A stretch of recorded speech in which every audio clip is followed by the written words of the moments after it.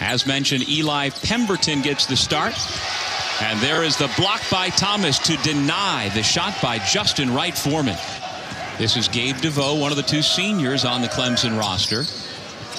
Skip pass to the corner, Shelton Mitchell and the redshirt junior out of Oak Hill Academy. Well, Bowie can match what Shelton does for Clemson because he had a tremendous game yesterday and he's growing in his role as the point guard for the Tigers. Thomas with another steal and the numbers find Grantham for the slam.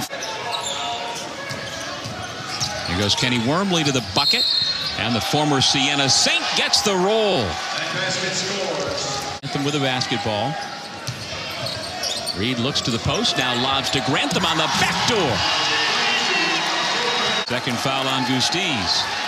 And the Hofstra defense just fell asleep against the 2-3 zone. Mitchell down the lane, no. Thomas keeps it alive to himself, gathers, goes up again, and he'll have a chance for three. Bowen Mitchell in the backcourt with Reed. Grantham and Thomas inside. It's Thomas playing high low to Grantham for the layup.